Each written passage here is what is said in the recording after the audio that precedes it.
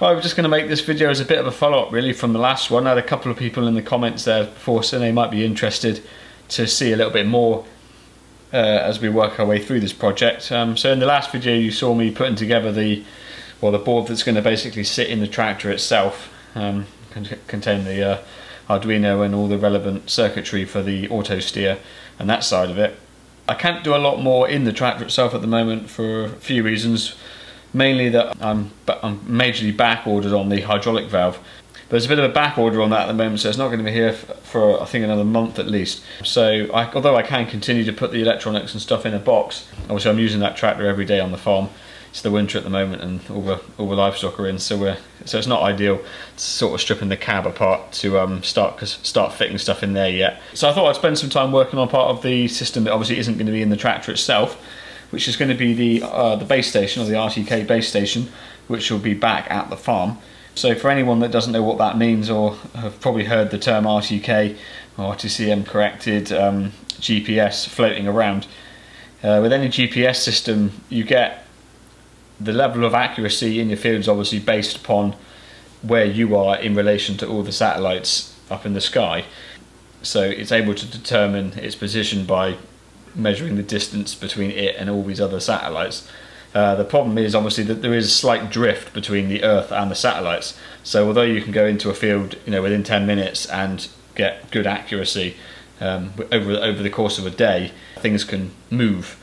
So, for example, if you were in a field today and you set an AB line down the middle of the field, or you went drilling or something, and you were halfway across the field and uh, started tipping down the rain or something, uh, you had to abandon, and you come back the next day. If you went out there without an RTK corrected signal, when you return to the field, you'd find that you wouldn't be driving, or it's unlikely that you'd be driving exactly on the original tracks. You'd still get a good straight line, and it would still be very close, but it wouldn't be precisely the same because things have drifted in that period of time.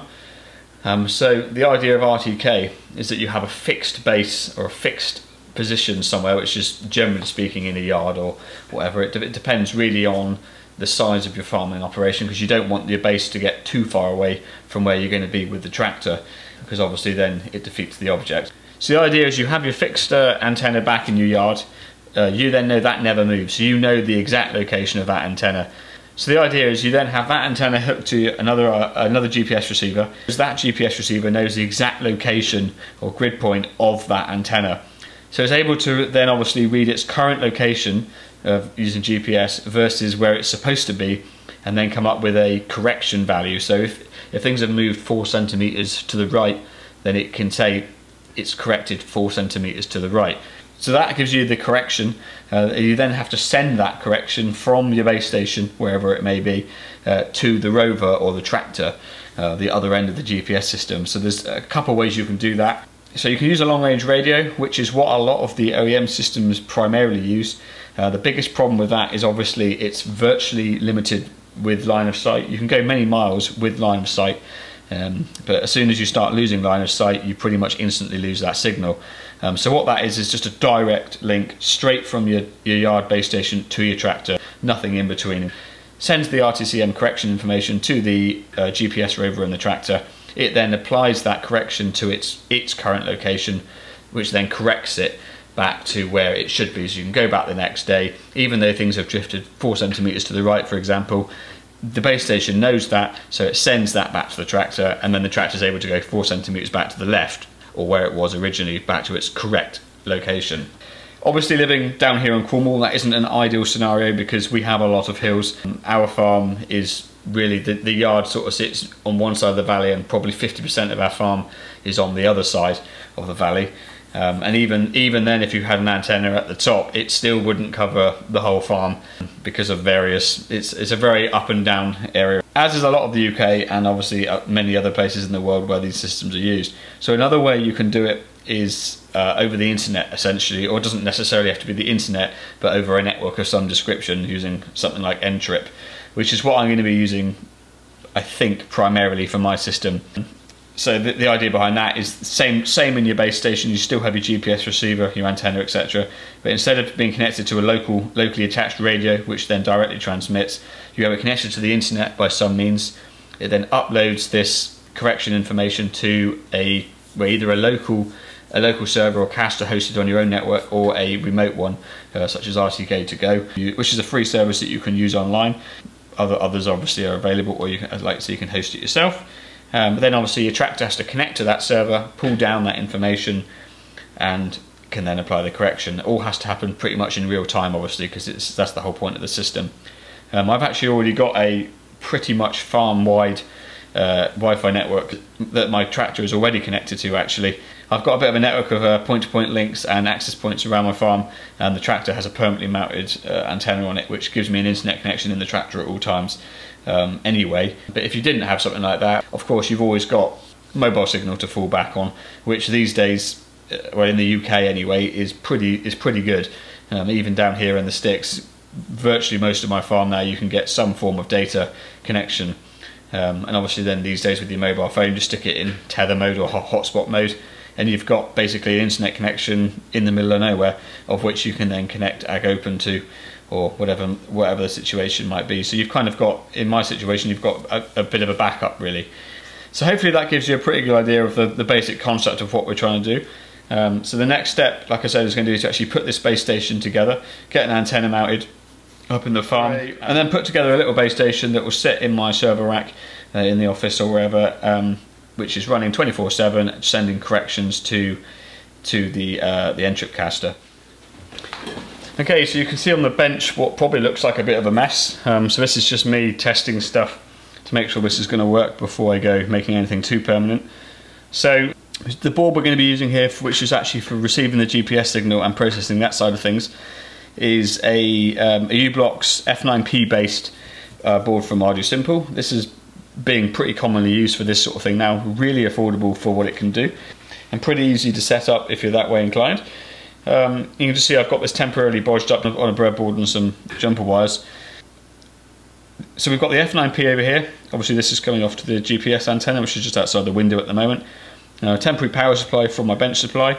Uh, then we've got an ESP32 based board here uh, so that's what's basically going to take the signal from, well, it's going to basically receive a serial output from the F9P. Um, this board itself will be connected to the internet, uh, and that, that is then what pulls that data in and then re-sends that data onto the internet essentially. We could use the onboard Wi-Fi. Uh, my general preference, anything on the network, is if it's possible, put a cable in. And since this is going to be sat right next to my rack, um, it makes no sense to use Wi-Fi. So you can also see I've got an Ethernet connection there, just temporarily connected to give me a connection to the internet. So it basically comes in through my GPS process, blah blah blah, off to the internet. At which point it will then get downloaded to the rover or the tractor and corrected. So really, now that I've proven the concept, um, I won't go into too much detail now. It's all on the table because it's just a complete mess. Uh, but probably once we get it in the, once I get it in an enclosure and up and running, I will walk through, if people are interested, the basic setup. Um, in fact, u-blox themselves, or ArduSimple should I say, actually provide base configuration files now on their website, sort of one for a base station and one for a rover, of which in nine times out of ten you can probably pretty much just load the configuration and go. Um, there's a lot of things that will probably be outputted that you don't need. Uh, there's a couple little settings you may want to just tweak to get things working perfectly with Ag Open. But other than that, they're pretty much ready to go out the box. So they're really, really simple to do.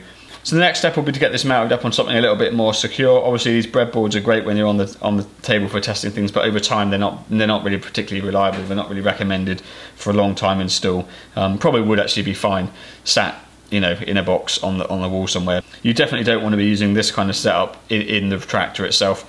Um, these wires are not designed for being uh, for moving around constantly, and also the connections inside the breadboards will eventually wear out, and you'll get all kinds of problems. I would imagine with with the signal. So I've got a little enclosure here that I had kicking around already, so we just will put it to use. Um, it's probably just about the right size to fit all these bits and pieces in. We've got the obviously the GPS receiver, the ESP, Ethernet interface, a little LCD for some status. Uh, there'll be a couple of LEDs uh, and a few other little bits and bobs, but other than that, it's all going to fit in there fairly easily. Um, I think the way I'm going to go is just to stick it on a bit of protoboard. I haven't quite decided what yet, but I've got several here, so whichever one is the appropriate size, probably the larger one, I'd imagine looking at that box get things soldered up. I'll probably put it, I'll probably put it all on headers so everything can be unplugged. so the first thing, the first step is going to be pretty much to rip all this apart. Um, I know this works now. I've made a record of what, you know, how I've got things working. So we can pretty much take all this apart.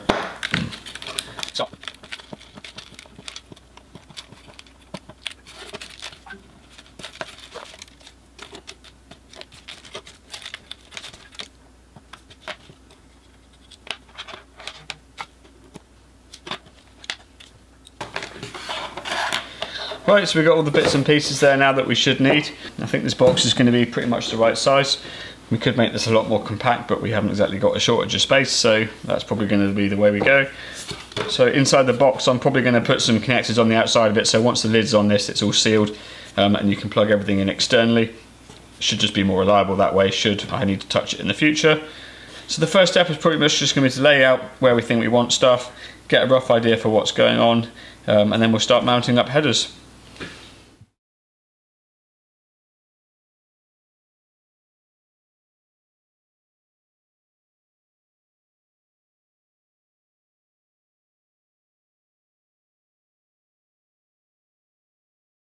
Okay guys, so hopefully you can hear me. Uh, we're up in the office now. This is where I've ended up putting the base station. Uh, this is pretty much inside, directly inside the wall where that antenna pole is. So right behind us, the other side of this, is the outside of that barn. Um, obviously it's nice and dry and warm in here. I've got the rack right behind me here, so we've got easy connection to the internet and power, and it's all um, UPS backed up as well. So the unit is supplied from the rack, so it doesn't ever turn off basically.